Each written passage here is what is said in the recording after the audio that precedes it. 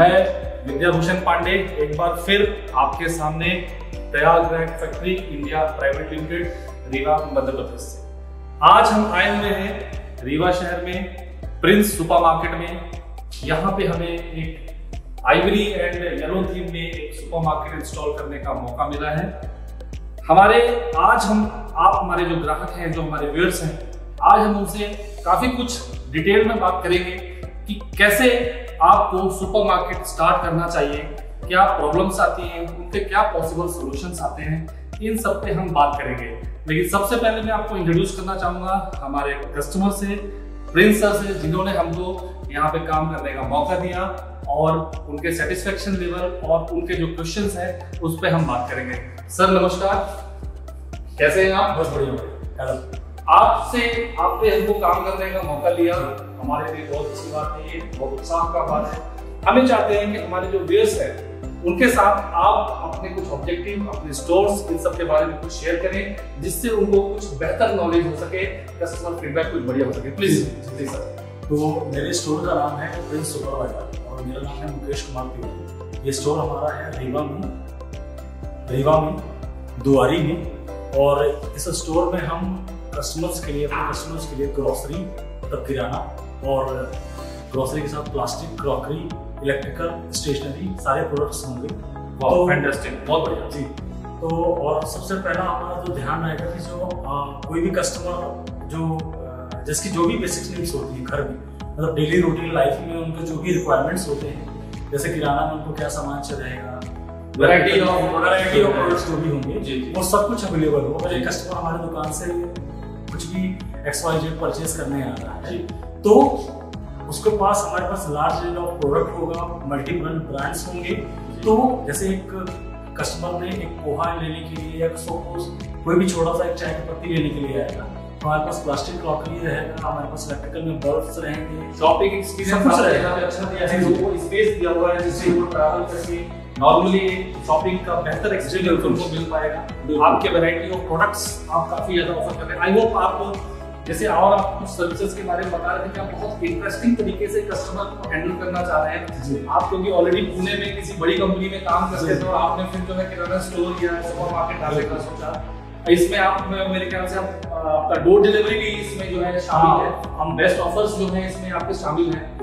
अभी तो क्या है इनिशियल स्टेज पे अभी फ्री होम जब कस्टमर के लिए भी अट्रैक्टिव डिस्काउंट ऑफ़र स्टार्ट करेंगे जो भी हमारे प्रोडक्ट्स रहेंगे जो भी हमारे पास सर्विसेज़ रहेंगे तो उसमें हम कस्टमर को डिस्काउंट अट्रैक्टिव डिस्काउंट ऑफ़र देंगे। जिससे क्या है कि उनको शॉपिंग करने में थोड़ा सहूलियत एक्सपीरियंस मिल सके। बिल्कुल। कि भी कस्टमर हमारे पास यहाँ पे आएँगे तो निराश होकर ना जाए। एक बार उनको हैप्पी कस्टमर्स जब आएँगे तो उनको जो वैरायटी प्रोडक्ट्स चाहिए वो लेंगे और वो उसके साथ जाएँगे ठीक है sir thank you so much आपने हमें मौका दिया काम करने का। Thank you so much Prayag racks Pandey ji के साथ भी मेरा एसोसिएशन बहुत अच्छा रहा। और जो मुझे रैक्स में मटेरियल मिला है उसकी क्वालिटी बहुत ही अच्छी है। अच्छे। बिल्कुल। चीज़ें कैसी हैं कलर है। जो भी कलर है हमारे शॉप के अकॉर्डिंग बहुत प्यारा कलर है बहुत अच्छा डिज़ाइन बहुत अच्छा बनाया हुआ है। स्टोर पूरा कंप्लीट स्टोर बहुत अच्छे लुक में लग रहा है। और कोई भी कस्टमर आएगा तो उसको ये चीज़ें थोड़ा सा अट्रैक्ट करती हैं। मतलब जैसे लाइटिंग हो गया स्टोर की फिनिशिंग हो गई मटेरियल की फिनिशिंग देखिए बहुत शानदार है। तो मेरा जो भी एक्सपीरियंस रहा प्रयाग रैक्स के साथ बहुत ही अच्छा चलिए thank you so much sir आपसे मिलकर बहुत अच्छा लगा। मुझे भी बहुत खुशी हुई। Wishing you very best of luck आप आगे करें बेहतर करें और बहुत अच्छा करें हमारी कामना है अब आते हैं हम अपने ग्राहकों के पास। बहुत ज़्यादा आपका समय नहीं देते हुए जस्ट हम आपकी कुछ समस्याएँ होती हैं। जब आप एक नया स्टोर डालने का सोचते हैं तो आपके मन में बहुत सारे ख्याल, विचार आते हैं, बहुत सारी समस्याएँ होती हैं, उनके समाधान होते हैं। तो मैं उन सब पॉइंट को एक एक करके शॉर्ट में कवर करूँगा, जिससे आपकी लगभग सारी क्वेरीज सॉल्व हो जाए। प्रॉब्लम्स होती है सबसे पहले कि हम किस शॉप का चयन करें शॉप की चौड़ाई कितनी होनी चाहिए, उसके हिसाब से रैक की हाइट कितनी होनी चाहिए, क्या हमारे पास ये डिस्प्ले रैक लेना ये सही अब निर्णय होता है कि नहीं होता है, इसके अलावा मार्केट में उपलब्ध और भी बहुत सारे रैक्स होते हैं। उसके साथ हमें उनमें जाना चाहिए कि नहीं जाना चाहिए और उसके साथ कस्टमर्स हैं कस्टमर की हैंडलिंग कैसी होती है प्रॉफिट क्या है प्रॉफिट का मार्जिन क्या है, वगैरह वगैरह, ऐसे बहुत सारे सवाल होते हैं। इस पे हम पहले भी हमारे कई सारे वीडियो हैं, हमारे चैनल पे जाइए, प्रयाग रैक्स में। वहाँ पे आपको इस सवालों के जवाब भी मिलेंगे। लेकिन कुछ सवालों के जवाब हम यहाँ भी कवर करेंगे। लेट्स स्टार्ट अगर आप एक सुपरमार्केट खोलना चाहते हैं, जिसमें नंबर ऑफ़ वैरायटीज इस्तेमाल करना चाहते हैं तो कम से कम शॉप की जो वेथ रखें, वो 20 फीट प्लस रखें और डेप्थ जो है वो कम से कम 20 फीट प्लस रखें। जैसे ये स्टोर है, वो 40 बाई 60 फीट का है तो ये बढ़िया एक परफेक्ट स्टोर है। यहाँ पे दूसरा सवाल आया कि आपके रैक की हाइट क्या होनी चाहिए?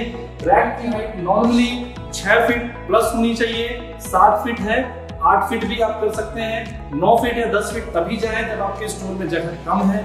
अगर जगह परफेक्ट है तो छह से आठ फीट के बीच में ही उसको हाइट को रखें। सेंटर रैक में अगर हम आए तो सेंटर रैक की कैटेगरी आप देख सकते हैं। सेंटर रैक आइडियली जो है पाँच फीट रखना चाहिए। इसका एक लॉजिक होता है कि अगर कस्टमर यहाँ से शॉपिंग कर रहा है तो उसका जो आई साइड व्यू है लास्ट तक जाना चाहिए, जिससे कस्टमर ये देख सके कि इस ब्रांड में स्टोर में क्या क्या प्रोडक्ट की वेराइटीज अवेलेबल है।